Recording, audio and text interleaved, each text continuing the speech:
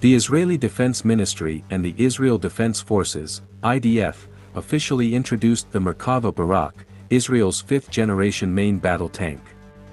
The first units have been delivered to the 52nd Armored Battalion of the 401st Brigade, following five years of development.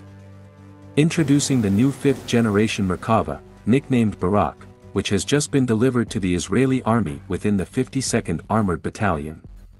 The Merkava is Israel's iconic tank, and the primary idea behind this family of tanks is the protection of its crew.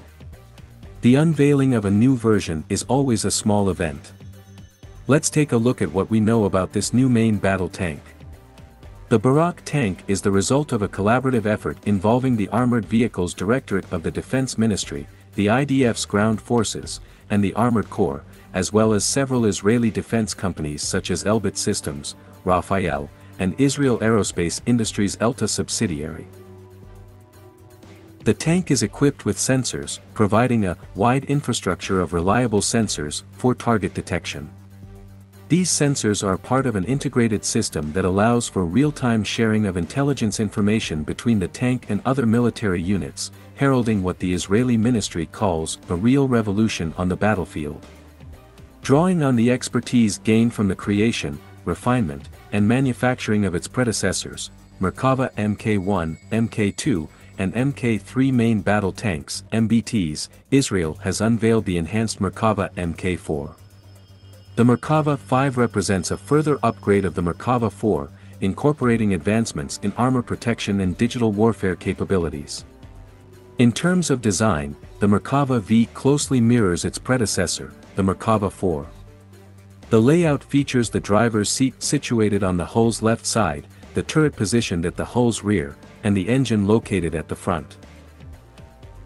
The tank is operated by a four-member crew, which includes a driver, commander, gunner, and loader. When it comes to firepower, the Merkava V retains the same armament configuration as the Merkava 4. It is equipped with a 120mm smoothbore cannon, developed by Israel Military Industries, capable of firing high-penetration rounds and guided munitions up to a distance of 4,000 meters. Additional weaponry includes a 7.62mm coaxial machine gun, another 7.62mm machine gun mounted on the turret's right side, and an internally housed 60mm breech-loaded mortar. One of the features of the Barak tank is the high-tech helmet developed by Elbit Systems, dubbed Iron Vision. Similar to a fighter jet pilot's helmet, Iron Vision provides the tank commander with a 360-degree view of the battlefield and displays relevant information in real time. The helmet employs artificial intelligence capabilities to assist in target identification and engagement. The Barak tank is also equipped with an advanced missile defense system called Windbreaker, developed by Rafael. This system is capable of detecting incoming missiles and causing them to detonate away from the tank.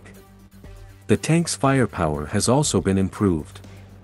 The fire control system, also developed by Elbit, allows for accurate attacks while idle and while moving, both during the day and at night.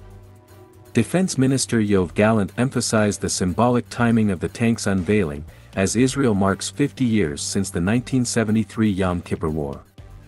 He stated that the Barak tank represents an extraordinary leap forward in the capabilities of the armored corps and will guarantee the IDF's qualitative advantage every time, in defense and attack. The Merkava has been the IDF's main battle tank since the 1980s, and the Barak is expected to eventually replace the older Merkava models, solidifying its role as the main battle tank for the IDF's armored corps.